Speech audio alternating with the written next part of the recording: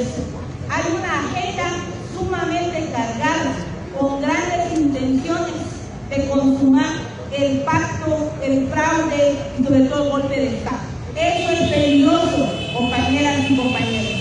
No solamente se va a querer aprobar y en este momento integrar la comisión pesquisidora o comisiones pesticidoras para conocer los antecisos contra los magistrados del Tribunal Supremo Electoral, sino que además la elección de magistrados de Corte Suprema de Justicia, que como ustedes saben, desde hace tiempo este Congreso tuvo que haberlo hecho y no lo ha hecho y ahora ya está en agenda. Pero a todo esto, ¿qué está pasando? Están presionando a las comisiones pesquisidoras para darle cinco días. Ustedes saben que la diputada Andrea preside una de las comisiones, pero ahora prácticamente la están quitando de la comisión. Eso es totalmente ilegal. Ya lo denunció en el Pleno y nosotros lo estamos acompañando acá. Entonces, se está fraguando una serie de cosas ahorita aquí en el Congreso. Es peligroso lo que se está dando. Y qué casualidad que no hay energía eléctrica, está oscura todo allá. Eso es mucho más preocupante. Por eso hemos salido acá para venir a decirles gracias por acompañar, porque así es como vamos a informarle al pueblo de Guatemala. Está en amenaza nuestra democracia y un Congreso inoperante durante un mes. Hoy se está retomando, pero para con, ahí sí confabular con las mafias, con las élites y no lo podemos permitir. Así que yo voy a hablar a los compañeros, porque todavía tengo que regresar, no va a hacer que si se restablezca el sistema otra vez. Pero gracias, porque son ustedes la fuerza del pueblo.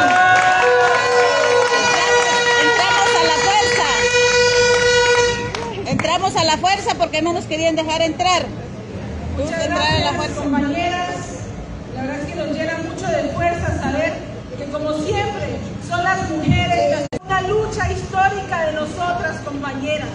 La lucha contra la corrupción es una lucha de las mujeres, porque es a las mujeres a las que les afecta gravemente que se roben en los presupuestos del Estado. Es a las mujeres a quienes afecta que la salud, que la educación se encuentre en situación deplorable. Es a nosotras las mujeres a quienes nos afecta cuando estos corruptos se embolsan grandes cantidades de dinero a costa de nuestros derechos, a costa de sus privilegios, son nuestras grandes necesidades y desigualdad. Y hoy están acá ustedes, compañeras, alzando la voz. Que pesquisidora decidieron retirarme de la presidencia, algo completamente ilegal. Y ahí vemos el machismo y sobre todo las grandes fuerzas de los golpistas que están detrás de estos grupos de corrupción, que están detrás de los diputados, que hoy están tratando de pasar de forma urgente el conocimiento de los antejuicios contra los magistrados del Tribunal Supremo Electoral, dándole apenas cinco días para que puedan exponer las causas y motivaciones al Congreso. Vemos y sabemos qué es lo que están intentando. En un momento en que la historia política en Guatemala, en donde vemos a grupos antidemocráticos que quieren socavar la democracia, que quieren romper con el orden constitucional, el Congreso de la República está siendo cómplice del golpe de Estado. Y es importante,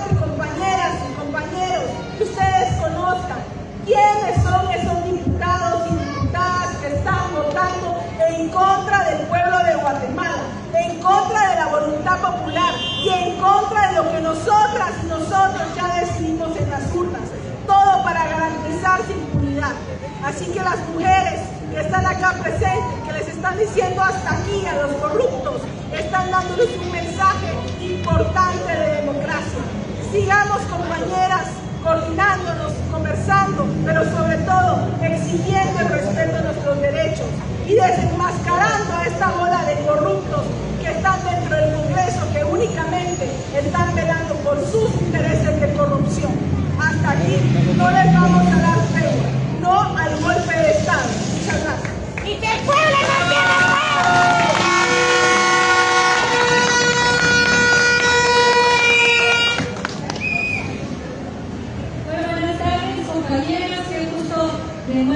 acá, nos hemos encontrado durante toda esta legislatura en las calles, en todos los espacios, exigiendo nuestros derechos y exigiéndole a esta bola de corruptos que dejen de saquear el Estado.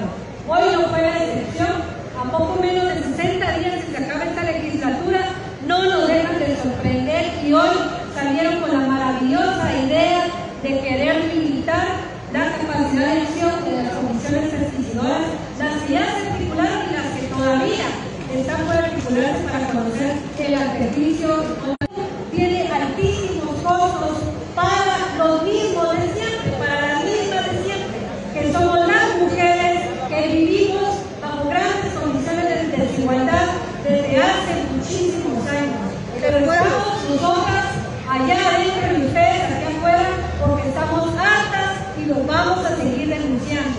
Les duele que los llamemos por lo que son una bola de corruptos, una bola de golpistas. Les duele que los llamemos así, pero no vamos a parar. Nos quitaron tantas compañeras que nos han quitado el miedo y estamos diciéndoles hoy, estamos hartas y vamos a seguir luchando para que se respete la voluntad popular, para que se respete la voluntad del pueblo y de una vez para que entiendan que nos cansamos de que vivan con sus privilegios a costillas del dolor, a costillas de la tristeza, del hambre de la gente. Así que gracias por acompañarnos, por dar estas batallas. Nosotras no nos sentimos solas allá adentro porque sabemos que el pueblo nos respalda, la verdadera mayoría. Ustedes, nosotras afuera, estamos con el pueblo de Guatemala y vamos a defender nuestra democracia. Gracias. ¿Qué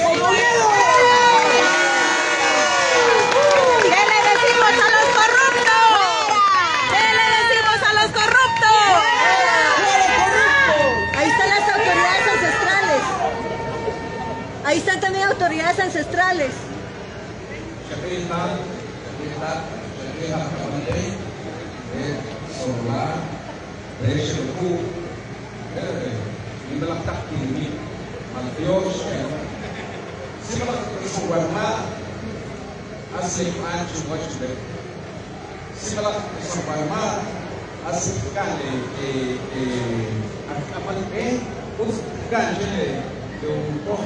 Jakarta, Jakarta, Jakarta, Solar, Resheku, Imelah Takini, Malfios, Simalah Kesuwarna, Asik Anju Wajbe, Simalah Kesuwarna, Asik Kale, Akamal E, Us Kale, Yung Tohi, dan recursos que Wajbe. por